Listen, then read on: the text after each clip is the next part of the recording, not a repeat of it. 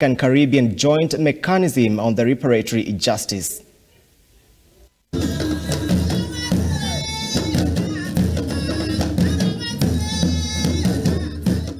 President of the Republic of Ghana, Your Excellency Azali Assoumani, President of the Union of Comoros and AU Chairperson, Your Excellencies, Heads of State and Government, Your Excellency Dr. Monique, Deputy Chairperson of the African Union Commission, distinguished guests, ladies and gentlemen.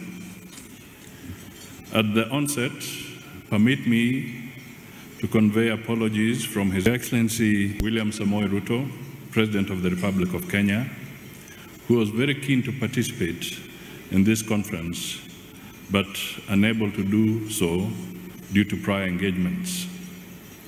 Further, I take this opportunity to express my delight for the warm reception and generous hospitality extended to me and my delegation since our arrival in this beautiful city of Accra.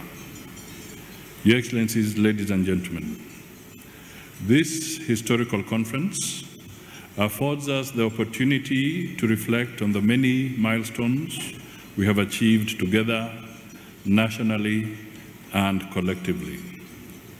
Not long ago, we stood unmoved in the face of adversity to confront the servitude of colonial subjugation and racial discrimination fearlessly. With singular determination, we reclaimed our dignity, freedoms, and right to shape our future.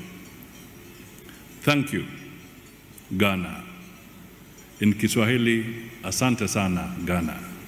Away from that, hundreds of squatters in Chepchoina along